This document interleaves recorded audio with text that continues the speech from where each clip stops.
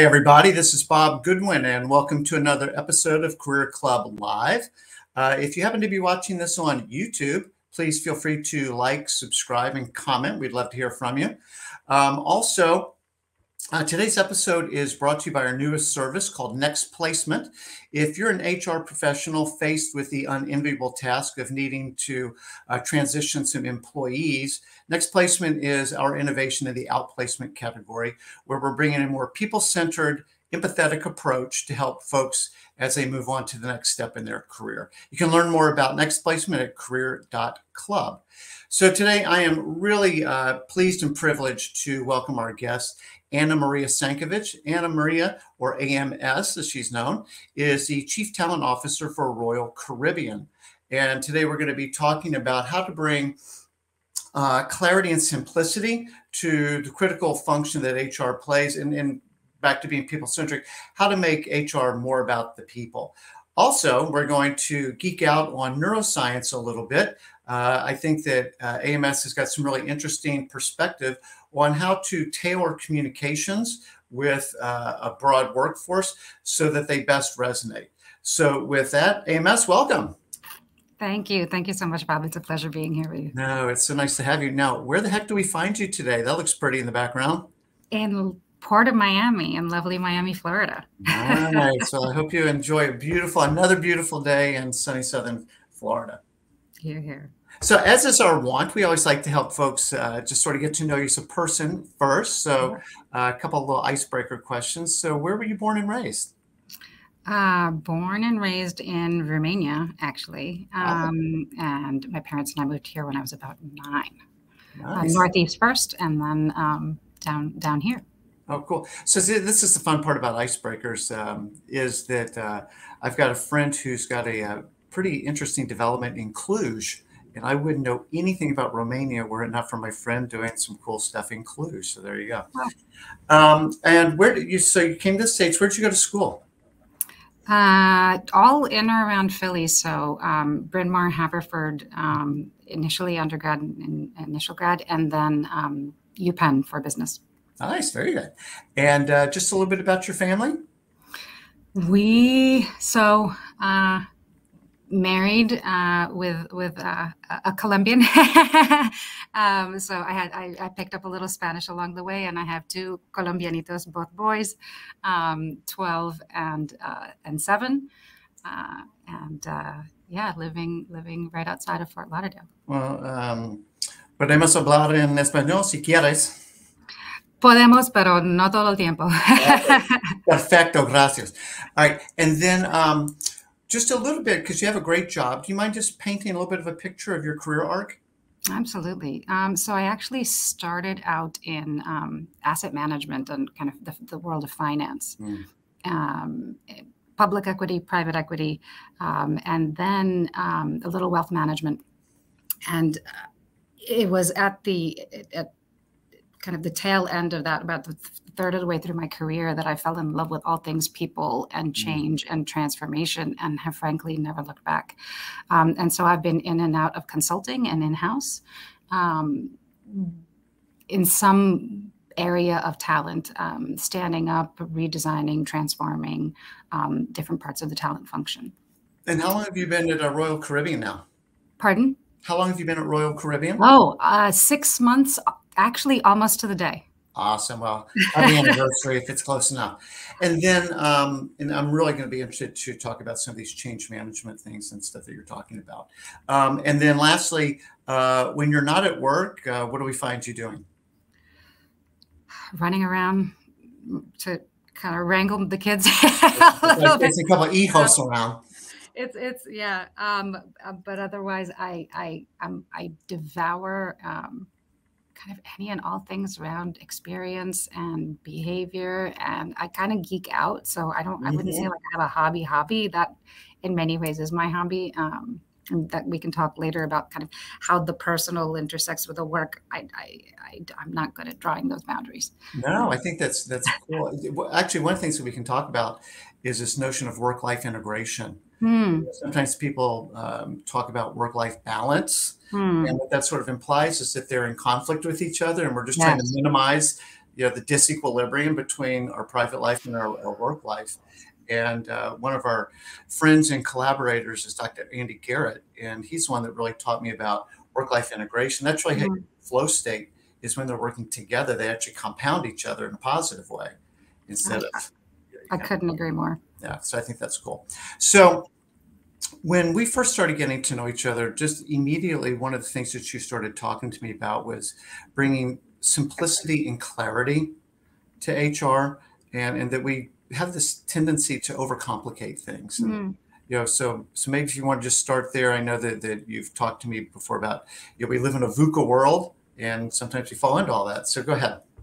Yeah, uh, and in fact, I would say it's not even just an HR thing, yeah. uh, because HR things should be business things to begin with. But um, it, I think that with the speed unfolding and ever present, and, and it's funny, I remember one time somebody saying, um, the world will never be as slow as it is today.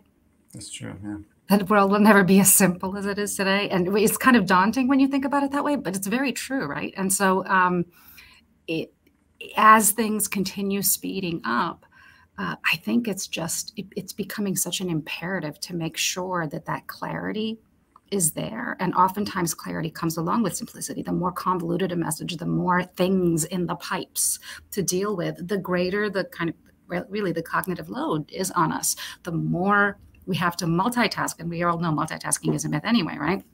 Um, there's only so much that we can hold. Now, I'm going to going into the, the, the, neuroscience of it, there's only so much we can hold in our mind at any point in time, and there's only so much we can process. And so I think it's more um, of an imperative for leaders and organizations and managers and everybody in, and HR um, to to simplify and to clarify and to hone in on what's the north star, where are we going, why are we doing that, um, and to do so consistently mm. because there's just so much noise in the mix. It becomes so much more challenging to to make the right decisions, to understand the real picture um, and the problems we're trying to solve, and kind of coalesce the team in the direction to do so. So, it's, with the complexity part, how much of that is of our own creation, and how much of it is external?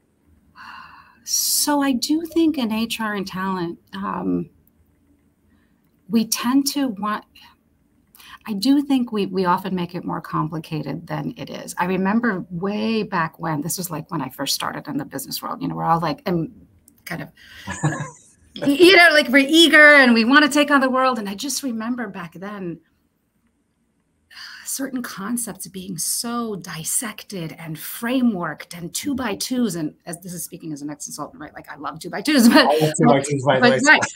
but but but there's just so much unnecessary complex. You lose track of the real picture. You lose track of like why we're here. You lose track of the humanness of things.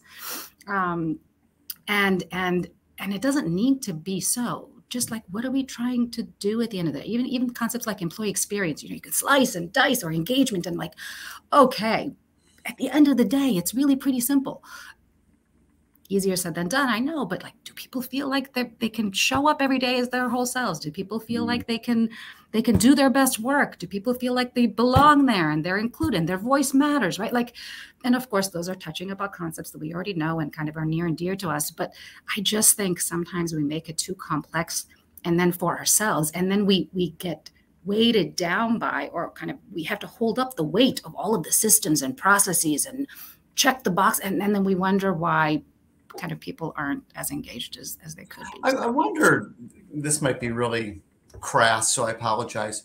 But if sometimes the creation of all these processes is actually sort of job security, well, well, somebody's got to keep all this stuff going, and like, look at all this, all these complex rocket systems that we've got here.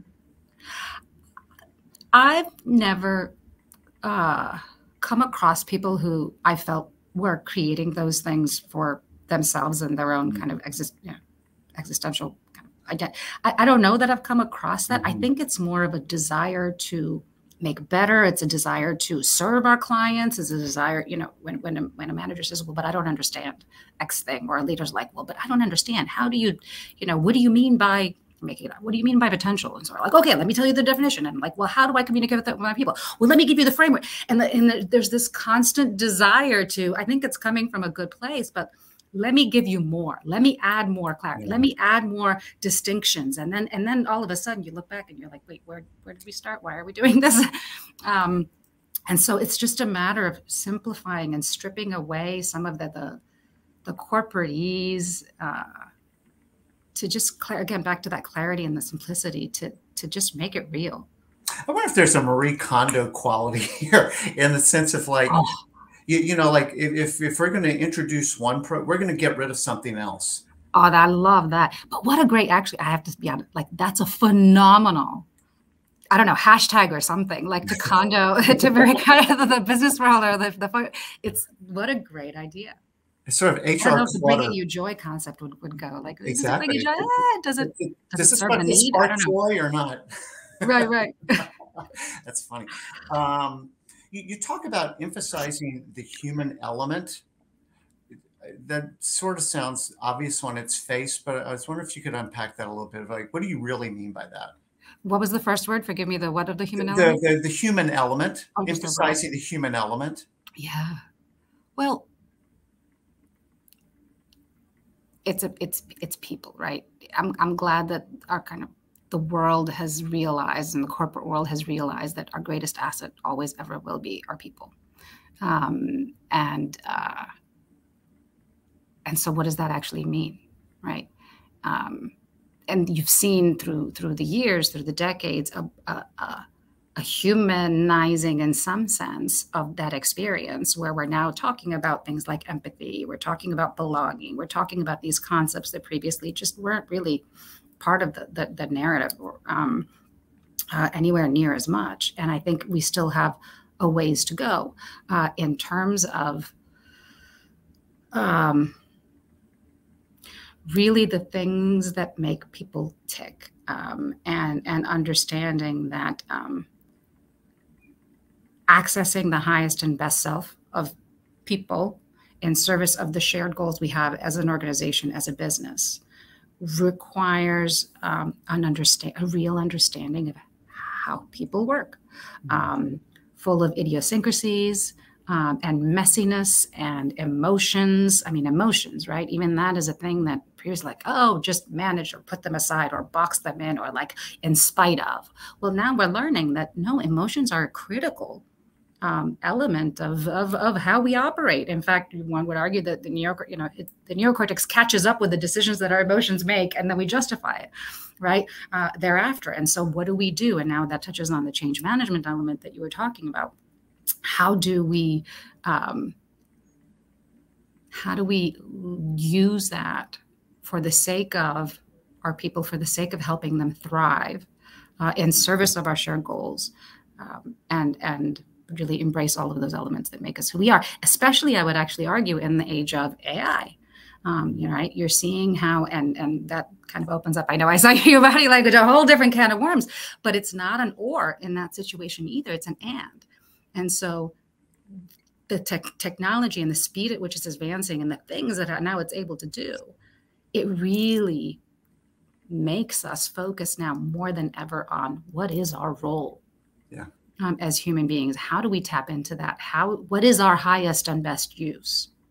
And how can organizations access that and tap into that uh, in this new age that we're in? Okay so maybe an unfair question lots of things there i know. No, as you think as you think about what our highest and best use is does your mind go in certain places like it's probably going to be found here or there? Well it gets down to arguably the definition of what what is the thing what what does human mean I don't know if you want to get that conceptual, but what does it mean? There's an element of creativity, yeah. innovation, connecting of dots, decision making. Mm. Um, and then, of course, in other in, in, in vocations and other like there's there's there is the actual manual things that only for now maybe people can do or people do best, and that's great too. Um, there's only so much I think that AI can um, either displace or challenge in that sense. But it's really, I think, raising that question, and I don't have the whole answer by any. I, I think for, for yeah. me, you used the word earlier, but but the word empathy. A yes. machine will never be empathetic to the human experience. True. Right. And so, if we think about something that Royal Caribbean does, You know, mm. you are bringing people together. You're taking them on adventure, right? You're expanding their horizons. AI can't do that. We're cel- helping them celebrate life's greatest moments. Yeah, you know, yes. and so so you need to be human to understand what that feels like, and then how to go create experiences that mm. create that joy that people find when they're celebrating life's greatest moments. And mm-hmm. a computer's never going to figure that out because it doesn't feel. It doesn't feel. Um, go all the way to the extreme. I do think, though, that it's going to it's becoming incredible at pattern recognition. Mm-hmm. So in an algorithmic way, dare I say, and that's even becoming old school from an algorithm standpoint, but I do think it can piece together the moments and the likelihood of those being moments where and when but but there's nothing like that human element. That's why that's that's why i think we're living so much more in that world of experiences right now right? And it's certainly impacting our industry. People are are dying to have those experiences that especially during covid they yeah. just were lacking. And so there's a backlog and a desire as we're seeing um, to, to really want to lean in into that um, and it's very understandable. So at least for now those experiences as you're mentioning are, are oh so human uh, and that human contact is so very important, of course, uh, and the understanding and the empathy and the connection to feelings. Um, it's huge. No, we are getting a little existential here by accident. uh, I'm probably gonna need more coffee to continue, but um, but part of what you said, Amos, that that you're, you're, making me think about here a little bit is what does it really mean to be human? Because we're human beings, we're not human mm. doings. AI is doing, right? But we're human beings. Mm. So what does it really mean? To be human when you start to separate just the doing part from the being part. Mm, oh, you know what that sparks in me? Um, and I learned this. Um, shout out to the Trium group right now um, from from Trium when when, when I, I, I was on the team. Um, the cycle of be, do, have. It really does start with being, doesn't it? So what do I mean by that? Most people think that uh, if I only had X, I could do Y, and then I would be Z. Mm-hmm. And in our search of being something, some identity, some aspiration of who we want to be, we often start with what we have or what we don't have to get us there. Yeah. But in fact, it's a be do have. First, who do you want to be? How do you want to be? And then what are you going to do? And then you will have. Mm. Because this is kind of conceptual, is it? But that's that's what that sparked to me when you're talking about being. It really is coming together very well. yeah, so there you go. So that, that's a very powerful concept. Um, so I want to jump into the the neuroscience stuff in a second, but but one last place I want to stop off at because in previous conversations we've talked about you know that being focused on results, not just processes, and in this elusive seat at the table Mm. And it's not just about having processes and manuals and rules and all this other stuff, but it's actually driving the business forward. C- can you share a little bit more about how you think about that? It really, it, it, it, it really does start with what are we up for as an organization? What's our vision? What's our strategy? How are we going to get there? Processes, tools, systems, all of that stuff are just a means of helping us get there. And at the point in time where they are no longer helpful or where they are arguably, and I think in many places, they're impeding the achievement of whatever goals we have, then we really have to rethink it. And so I think all too often, um, rather, it's easy with among the noise in the noise that we were talking about to lose track of that goal which is why again that clarity and that simplicity and the continuous kind of commitment to those north star goals is just so important. Um, and and avoid getting trapped into the kind of the, the process loop of like because then it just becomes check the box right? And so many times and i think employees take your pick of the organizations it's like oh it's the time to do x review and i need to check the box and i need to go here and click here and then check the yeah and by the end and have you done that by that deadline and like all of that stuff um, weighs it down like what is it actually about? What is a, ta- a talent review or, or a year-end performance site like what are those conversations about? How did you do? Did you accomplish what you wanted to accomplish? What can you learn from that? Right? And like it, it's just very in, in many ways simple, but but but the processes sometimes get in the way or overshadow yes. the goal such that we lose track of them, and and and then you you lost the script. Um, and so that that connectivity all the way up to to the business to to what we're trying to achieve to why the acumen from a business standpoint all of those things are so important to to to, to maintain that connection. Yeah connection seems such a light word to say like the connection. It's like no it's the fuel it's the drive it's right?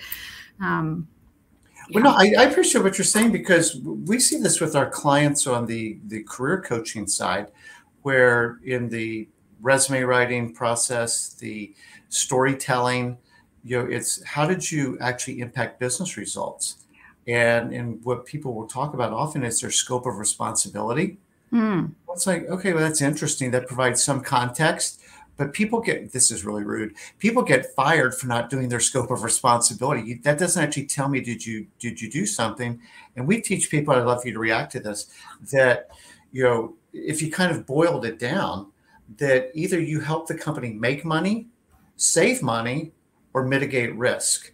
Like like the values kind of distill down into those three pillars and there may be a different we talked about frameworks a minute ago but but that, that i mean like seriously you know because we were able to reduce the time to hire mm. that allowed us to be more fully staffed which allowed us to you know hit a sales objective because this part of the business was fully that we were fully staffed on a ship so that we could you know make more money you know we were able to reduce the cost per hire or the time to hire which saved us money because we took mm. it hmm. from, you know, it cost $729 to $436 per whatever. Like, do you understand your contribution to business results? Well, I think that conduit is key. Um, understanding, um, well, it's linked to so many things that I want to touch upon. So one of them is purpose, right?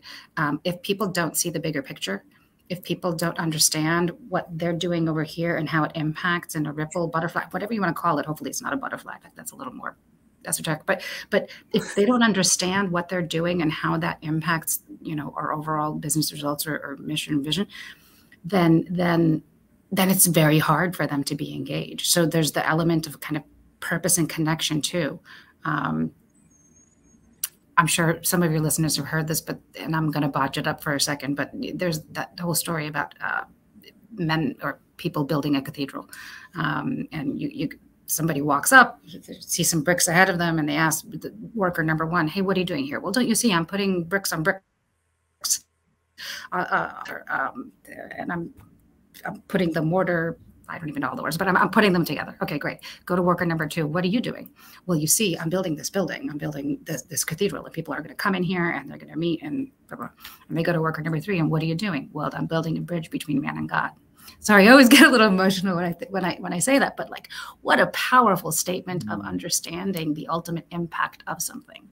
And yes. so, um, as you think about that that connectivity, it's just so very present. Going back to that element of human, like if people want to feel valued. People want to do their best. People want to put their best foot forward. And and we need to help make sure that that clarity and that connection to purpose uh, and mission is is there. Well which brings us back to your model of who do i want to be. Yeah. Right, right? and is this helping me become who i want to be yeah. or or not. Just a super quick anecdote on that your cathedral building thing which by the way i hadn't heard before so thank you. Um, so I wrote a master class on job search called Making Your Own Weather. And I had written bits and pieces of it. And I was trying to do it on the weekends and at night, and it wasn't working for me because that's not my work style. So I just said, you know what, I'm going to take this week off in August and I'm going to bang this thing out. I'm going to be done with it. So I wake up that Monday morning, and I'm, this is embarrassing, but I'm not even out of bed yet. I'm like, oh crap, I've got to write a term paper. I, I got to write this big thing, and and I was like, oh. and almost instantly, I felt like I got a bit of a head slap. And it's like, no, you get to go help a bunch of people whom you will never meet, right? Find purpose in their job search, learn some things about themselves, have hope, you know, and, and a sense of autonomy and agency. That's worth waking up for. And I just blew through it. That was like one of the fastest weeks of my See, life. That's like that's such a perfect example of understanding going back to how we work. Mm. how we're wired, right? And that that that ability and that understanding framing and reframing and storytelling. They all have something in common, which is like, what is my story? What do I want to believe? There's so many opportunities and so many different options. We can believe a gazillion things. Well, what is the belief that most that most serves us? And in service of us that we want to, and that's a matter of choice, right? What do we want? You had a choice at that point in time. I can choose to look at it this way, or I can choose to look at it this way, which is true. Both are true, arguably. But man, what a different unlock, what a different opportunity there is when you reframe. And this is goes back to neuroscience, right? Reframing anxiety, reframing nervousness, reframing all those things as we're now learning has massive unlocking possibilities wow. um, in ourselves and for others. Um, and and understanding that again back to a little bit of the science behind it makes well, well, let, us kind of so let's bridge the gap there then what sparked your interest in kind of behavioral psychology, neuroscience, things like that? Hmm. Actually, the first time I haven't thought of. Thank you for asking. Um, it was when um, I was I was at American Express and we were uh, relaunching a, a, redesigned 401k uh, retirement benefits platform. But at the time, we redesigned we did redesigned the, the the 401k and had to lean into pretty deep behavioral economics principles. Um, to understand things like default mechanisms and simplicity, actually, even at the time, and the clarity behind that. And how do you help people not, or rather, see something and truly something as a gain um, versus as a loss? Um, again, similar actual framing to what you just did. And so it wasn't quite a loss, loss, right? But the framing of that matters, um, and it's just as real. And so I think that was the very first time, um, as it was a behavior shift uh, for many that I leaned into kind of behavioral economics, how behave, behaviors. And then ever since then, I've been obsessed with everything in that space from nudge theory and brain priming mechanisms and framing and mindsets and um, everything, everything. Yeah, so I've always been very grateful that I kind of stumbled into consumer insights, market research. Mm because it's all about how wacky people are and how we make decisions. And like you said earlier, you know, uh, emotionally we might make a decision and then backfill it rationally to protect our ego, basically. Uh, there's a pastor who talks about rationalize. You know, we we tell ourselves rational lies to, to like protect our ego, essentially at the end of the day. But but that we are emotional creatures. We are not okay. just work producing units, right? And when you when you can tap into what are the underlying drivers or what are the underlying barriers that you know are actually causing behavior and, and maybe this is a good opportunity now to link this to change management mm. right so how do you think about because you've got a good understanding i'm sure like everybody it's an evolving understanding of how people make decisions how people choose to adopt behaviors or not how do you mm-hmm. incorporate that in your role uh, as Chief Talent Officer? That's a big question.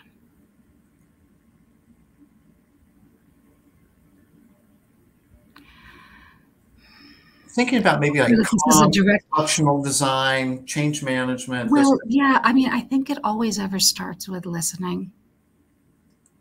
I guess first is caring, actually. Do you even care that do you even care what makes people tick do you even care how they make decisions why what's the right and that's where the listening comes in and listening comes in a gazillion ways it can come through design thinking and focus groups and interviews and um, it can come from a deep care from uh, employee engagement surveys. It can come in a one-on-one when when somebody's having a bad day. How do you how do you hold that against the bigger picture of again that, that whole person and, and, and human being? It comes in the form of benefits of you know providing support in, in the form of benefits when people are grieving uh, over lost lo- loved ones. We learned that during covid too. I, and in, in, a wonderful way, organizations stepped up to support their people uh, through that and, and shining a light on topics like mental health. And it's all it's all part of that same big picture. Um, so in terms of change, now going back to your your question, I think it always ever starts with caring, listening, incorporating that. Knowing what you don't know and understanding that you don't even know what you don't know, mm. um, and playing in that space. Uh, not assuming.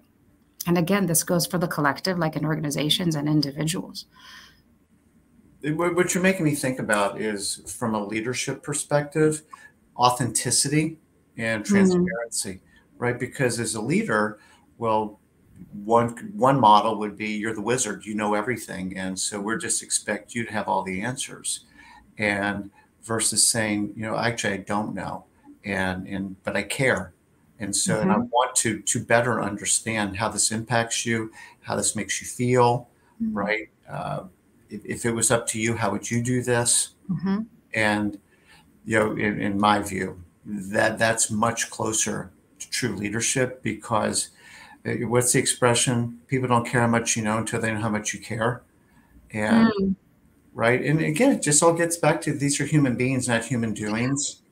So our shared uh, friend, uh, Mr. Arnie, um, he will say um, that, well, actually, it wasn't I just lost the train of thought. But it is about how you make people feel, right? Hmm. Um, and and oh, this is his add-on. Um, not just how you make people feel, but how you make people feel about themselves. Mm-hmm. Yes. Um, and uh, and that goes to our being and who we want to be and how we see ourselves. So yeah. Well, one of the things that we find again, a lot of the people that we work with have experienced a job loss. Mm. so you, you talked earlier about grieving, and that's why we've incorporated basically mental uh, health support because these aren't cells on a spreadsheet, right? These are real people who've experienced a loss who you have to go explain to their loved one like what happened and how, how do you deal with this. And one of the greatest things that we're able to, back to reframing, show people is, you know, you have agency still. You've got moral yes. authority here. And every moment of every day, you get to choose your attitude and you get to choose your actions. Everything mm-hmm. else could be happening around you, but you do have choices. And people, that I mean, that is that sounds really simple, but it's, it's like majorly profound. So because. Because people move from being a victim to being the author of what happens next. And like you said, that just like massively changes their outlook and their energy to go instead of being depressed and staying in bed all day because the world's conspired against me to I can get up today and go make something happen. That's why we titled the course Making Your Own Weather. It's like yes. you can go make stuff happen. You have so much more control than you think that you have. And and that's why you know real change management starts in somebody's mind. Mm. Ha, I never thought of it that way, but this is very true. Um, and it's hard, right? It's hard when people are in that state to really share that with them. It's very, it's, and it's, it's, it's the hardest time to believe that because you feel powerless. You feel like things are happening to you. And they are in some ways, but how you choose to react, to respond, rather, yeah. to that, not react, but respond, does make a big difference. Yeah, and you know, and, and people struggle, and and we can zoom out here because this isn't just about job loss. This just could be like, oh my gosh, this AI, AI cloud is moving in. Like, what's that mean for me? And people can get very stuck in fear, confusion, panic, anger. Well, and so this is a little news, right? Our brain scans for threats God, yes. I don't remember exactly six times, ten times. What some other people who are watching this will be able to share in the comments, but um, X times more than it scans for the rewards and the positive, which is why going back to change management and the vacuum of clear and consistent communication, people will fill in that void with their own stuff, and it's not going to be good. it's just not. Mm-hmm. That's not how it works, right? Um, and so understanding that that we are wired to see the threats more than we are the rewards, it matters. Yeah. So, so I, I learned from a friend of mine who's an expert in facial coding that mm-hmm. there's um, six or seven core emotions. Five of them are negative. yeah. Fear, sadness, contempt, anger. I'm forgetting one. The neutral one is surprise. Hmm. Surprise! I just wrecked my car. Surprise! I just won the lottery. But but I'm surprised. And the only positive one is happy. You know, I have to poke a little. Please. I have a feeling that the science is actually out on that. I think that it may not be as universal. The description of and the understanding mm. of emotions may not be what we think it is. I'm, I might be opening up a whole thing, but I, I think that I, I think I read research recently that stated that we think that this thing means happiness and we think that happiness is more universal than it might be i don't know again I, I, welcome it to others who might be more but i well, I'll go do some more digging. You brought up an interesting. we can continue that another time. But just, just picking up on the idea that, that we do change generally means a threat, and we are scanning for threats. Um, one of the things that, that, we had talked about was a little bit around DEI. This is related DEI and unconscious bias. Mm. And you had a point of view on that. I was wondering if you could share that. Well, so it's interesting. That reminds me of I went. I don't remember the exact conference, and I unfortunately forget the gentleman's name. And he was a prof- He was he was he was deeply he his expertise was all unconscious bias, and he spoke beautifully. And now I forget, but it was like he wrote God knows how many books and uh, and I remember after the, the his his session, and I went up to him, and I was just, of course, so intrigued. And I'm like, okay, so you know all this stuff, and you're like the expert, and you know what, you understand all of the nooks and crannies and everything. And so, what do you do differently now? Because of that, like, how do you override? Like, surely your stuff must be better than other people's stuff. Surely your, you know, the way that you know now you're mm-hmm. processing. And it was the most humbling thing that he said. He's like, no, I actually realized that I cannot override it at all. And so all I do now, he, he journals. You could be like, what do you mean? What does that have to do with anything? He's like, our biases are always ever there. They're wired in us. You can't, they're unconscious biases. So, like, as much as you might be aware, the ever, the first and ever reaction will always come from that spot, mm. from that source. And so the job is to design around it to design processes and systems. This is where actually they're incredibly handy to, to design bias out of processes. You think of recruiting, you think of promotions, right? Um, how do you put in place the systems to make sure that it seeps in as little as possible? You hmm. cannot count on the human element for that, unfortunately, because again, our biases will always ever be there. And then he journaled. He mentioned how, and I thought, again, fascinating. He's like, you are never who you actually think you are who you actually are is the sum of your actions. Yes. So you can think about all of the things that you want to be, but the truth we talk about lies we tell ourselves. mm. either serve us, that they don't, but lies we tell ourselves. And so what he does is he, he, journals, and then through the journals, there he then he reverse engineers who he is. Mm. That is his was his process of self discovery. I thought that was just brilliant and and so thought provoking in terms of lies we tell ourselves. I mean, where the proof actually is. That's brilliant, though. It's like that that notion of we, we are our true character is the sum of our actions. Arguably, all. It's like yeah. if a tree falls in a forest. Well, okay, I can think, I can have all the best intentions in the world. Does that actually make it right? What what what what what matters is what we do. Yeah. And of course, what we do stems from who we want to be. Again, the be do have piece, but but but that is the that's where the rubber meets the road. Yeah, for for for anybody who's listening, that this this is like foundational book in uh, kind of decision making and how we think is uh, Daniel Kahneman's Thinking Fast and Slow, and you have System One and System 2 mm-hmm. system One is that's our default mode, and that, that's where all the unconscious bias lives, because we need System One thinking just to survive because of all the stimuli around us. Yeah. And when things kind of don't align or we can't do something in system one, then you need to engage system two. So I, I like what you're talking about in terms of designing systems and processes that acknowledge that it's real. It is. Instead of pretending like this isn't really happening because it, it doesn't suit me for that to be true about me. Well, be that as it may, it is true. And how do we design for that? Mm-hmm. Yeah enabling the behaviors and the actions. Um, so uh, one of the things just last week we had talked a little bit about personas. I don't know if you mm-hmm. remember this, and you know this kind of monolithic, like here's one size fits all messaging style versus things that are hyper personalized, and then maybe something that's in the middle ground, and and how to create scalability in messaging yet still be able to personalize. Can you riff on that for a minute? Yeah. So it's funny. This does remind me of, and again, I keep forgetting the names of books. That's unfortunately one of my weaknesses, names, and dates and things. But uh, it's in many ways, I think we're heading in a world of like a, the barbell effect, right? Yeah. Where, and I think of it in terms of barbells, like there's an ever elongating tail of differentiation and bespokeness, if that's a word, but like the customization and like the individuality of what we do and how we do. And yet we all have so much, and we all have so much more in common than not. And that's like the monolithic piece over here.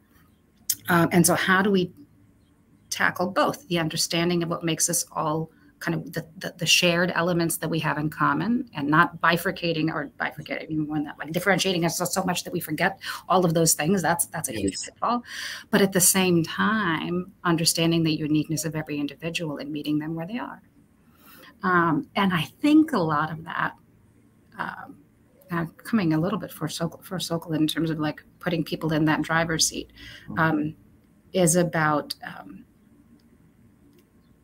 not presupposing or pushing the solution. I, um, so what I mean by that is kind of bringing them in in a scalable way and this is different than like as traditional programmatic approaches where it's like okay here's the thing and now i'm going to roll it out and i'm going to cascade it and then we're going to make it bespoke down there over yes. but it's about creating whatever programs or structures to already go there wherever people are in a scalable way that's kind of bespoke from the onset. Yeah. But with a shared, I don't know if this makes any sense, but with a shared backbone um, of how you do that um, at, at the center. But what, what resonates for me, and, and, and i think I'm keeping up with you, but but it's when we're grounded in a common purpose, right? and that, that kind of gets back to you know, convictions and clarity. So if we're grounded in a common purpose, then that becomes the language that we can speak to each other, right? And and I like what you're saying about you know let's focus on what we have in common, not just on what makes us different, because this hyper tribalism doesn't and work. it's an and, right? Yeah. Um, both both are always ever present. Um, there's the individuality and the uniqueness, and then there's the things that we share in common. And so the design of any elements uh, that hit the organization as a whole have to have to hold both of those things present at the same time.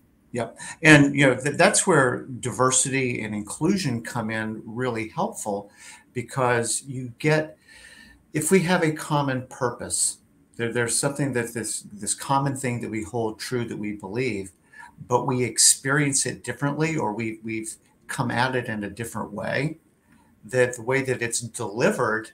So it's like water takes the shape of its container. Water is the same. It's it's always the same, but it might come in a different mm-hmm. container mm-hmm. because that's the way that it's best received. But we're not changing the water all the time. We're not mm-hmm. reformulating the purpose all the time to suit that one person. It's the same, but the container that it comes in can be changed in a way that they can best receive the same substance that everybody else is getting. Mm. So see if yeah. that works for you. Um, last thing, I want to be mindful of your time, and this is I could talk to you for hours.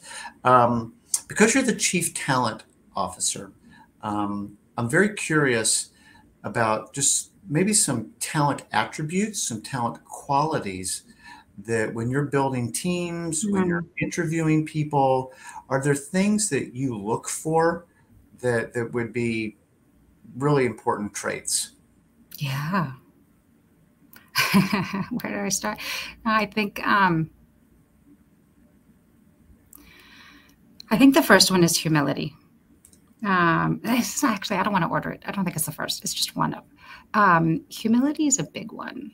Um, that you don't come with a preset solution I took it from what I did over there, I'm putting it over here. There's a humility for what you don't know. There's a humility for what used to serve you isn't serving you anymore. And kind of there's that level for me that humility is an entry point into the openness of like, like personal growth and understanding that you don't have it all figured out. Um, and so for me, that's an access point into learning. And so the learning element, kind of on the flip side of that, is like continuously learning. Um, and being in it and struggling with it and and sticking with it. Um, which then goes to resilience. Um, do you have have you developed some of these tools to do the work that you were talking about in terms of the mindset in terms of framing things for yourself and others Mm. And then that goes to kind of team and collaboration.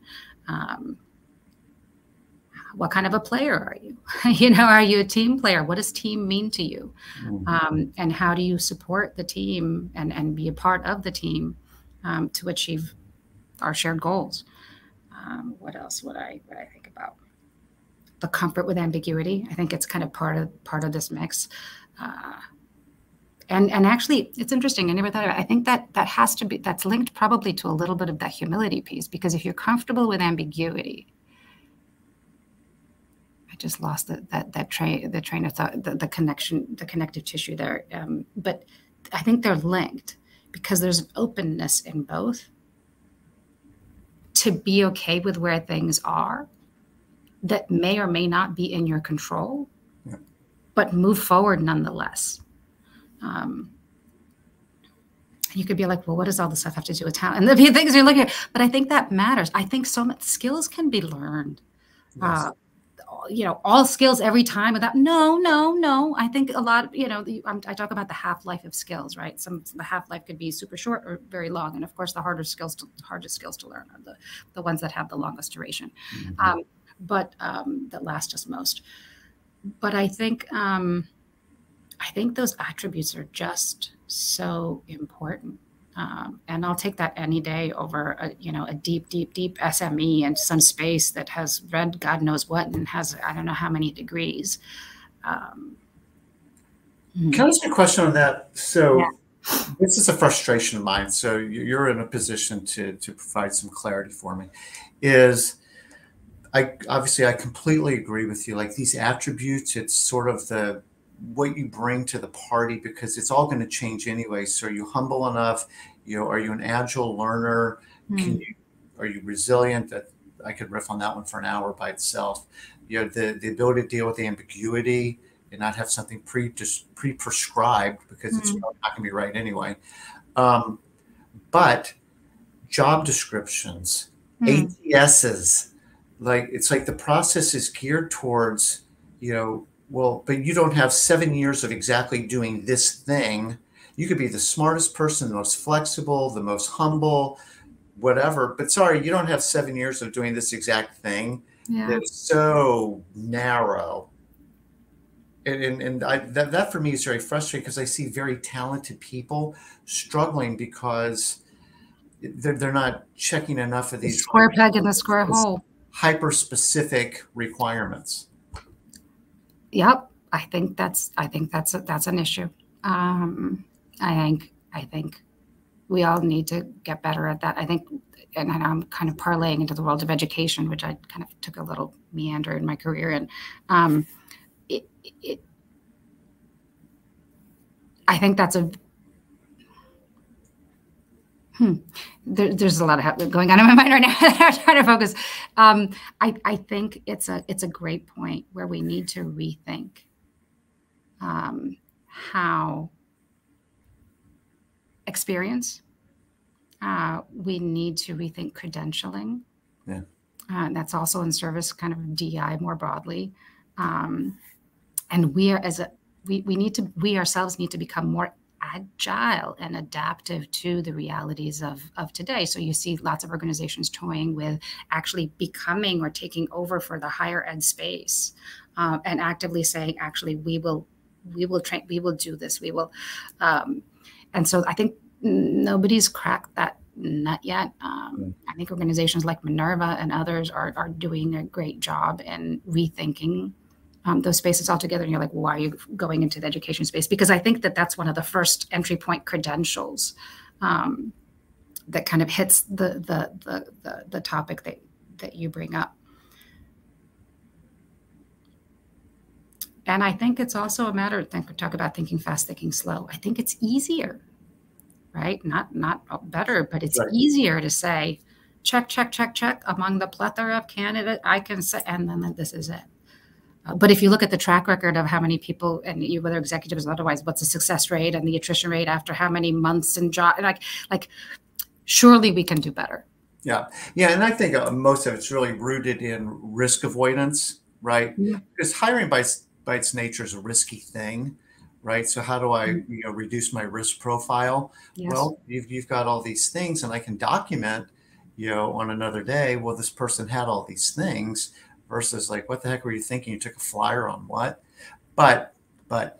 I fundamentally do believe that the qualities that you were talking about, this natural curiosity and uh, you know, being an agile learner, because I love what you said earlier, like things are never going to be slower than they are right this minute. So like you, need to be able to keep up with as the, the record keeps going faster and faster. You can keep dancing. Um, but I mean, and clearly it's a balance. Like, I mean, like I'm not going to ever go be a JavaScript programmer. So I could be like the most agile learner in the world, but I'm, I'm not a programmer. Or you need somebody that is a CPA if they're going to be in your finance department, mm-hmm. right? You know, with mm-hmm. a certain level of responsibility. But having said that, you know, there's there's a lot of room to allow people to grow and to bring a different perspective to an old problem uh, and, and come up with a, a, more unique solution because they're not in the same rut that everybody else has been doing the same thing for 17 years. You know, has kind of has those grooves burned in them too. So, mm-hmm. um, any any parting thoughts? I mean, th- this has been very thoughtful, and uh, you know, what I love because it's been really organic and kind of been all over the map in one sense, but. Mm-hmm I think, around a common theme. Any any parting thoughts as you you know, might share something with with fellow HR leaders, particularly in the talent space? I think we're at an incredible time uh, for HR and talent right now. Um, I really do. It's it's it's very exciting for me um, and my team to to be at this point in time. I think there's more opportunity than ever. Opportunity even sounds so mundane to say it, but um, to really make amazing things happen. Um, and um, it's it's just a great, great time to be in this space. No, I think that's good, and that's all the reframing. This is, it's a threat or it's an opportunity, and I think choosing to see it as an opportunity is definitely the way to go. So, AMS, this is so much fun. Uh, you bring a really fresh perspective on a lot of these things. I think a very positive energy to helping people think about some old problems in a new way. So, uh, for that, I really, really appreciate your time today. Thank so. you for having me. Awesome. So, everyone, thank you so much for listening. Um, you can find this on YouTube, on your favorite podcast platform. But uh, we just really appreciate you taking a few minutes with us today. And for that, thank you again, AMS. Appreciate it. Thank you, Bob.